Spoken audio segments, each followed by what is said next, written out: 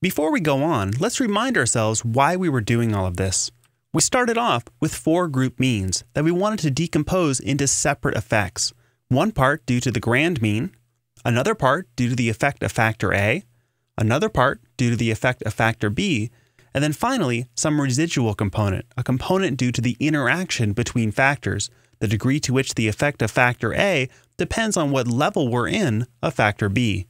Or said differently, the effect of factor B depending on which level we are in of factor A. So we ended up with a number of different components, but we started off with just four pieces of information we were decomposing. So let's pause for a second and think about the degrees of freedom we have used so far in making this estimation. We started off by estimating a grand mean, one degree of freedom lost. We then estimated the effects of factor A, so we estimated the A terms. But remember, the A terms were yoked. The degree to which A1 was negative is the exact same amount that A2 is positive so we lost only one degree of freedom in estimating that term. We then estimated the B terms, the effect of factor B. And just like the effect of factor A, these B terms were yoked. B1 is as positive as B2 is negative, so one more degree of freedom lost. So we've used up three degree of freedom so far in estimating those four means, and the final degree of freedom, the final amount of information we need to estimate or define those four means, was used up by the interaction terms.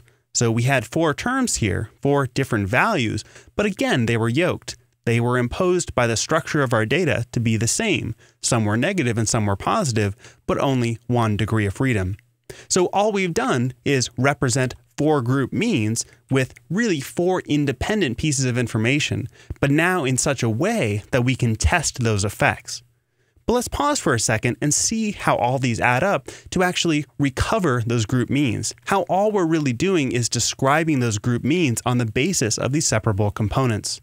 So because we have the A's and B's at the margin, and the A's and B's are the same within each group level, I'm going to keep them at the margin and I'm going to retain the interaction offsets, the ABs, within the cell. So here were the original group means, the things that we're trying to reconstruct on the basis of what we've just developed. So let's start with Gilman Drive at 8 a.m. So we have the mean for Gilman Drive, y bar dot one one, is equal to y bar dot dot dot plus a sub 1 plus b sub 1 plus ab 1 1. So let's actually do the addition, and we should find that we get 670. So 741 plus negative 63, the value of A1, plus 16, the value of B1, plus negative 24, which gives us 670, the mean for Gilman Drive at 8 a.m. Let's try this for La Jolla Village Drive at 8 a.m. Notice we're looking for a different mean and we're going to use different pieces. So here's how we would write the mean for La Jolla Village Drive at 8 a.m y bar dot 21 is equal to the same grand mean, 741, plus 63 in this case, the value of A2, plus 16, the value of B1, plus 24, the value of AB21. And this gives us 845. We've simply described these means in terms of different pieces. And we've done it on the basis of the geometry here.